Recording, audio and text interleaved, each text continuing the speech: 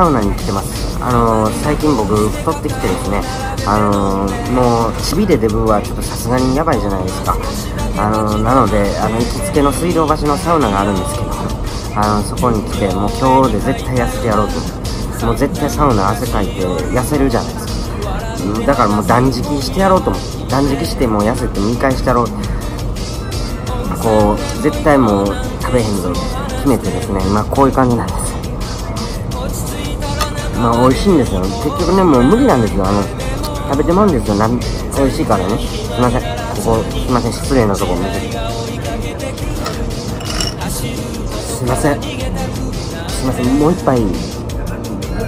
あの同じやつ。はい。31です、はい、すいません。お願いします。頑張ります。頑張ります。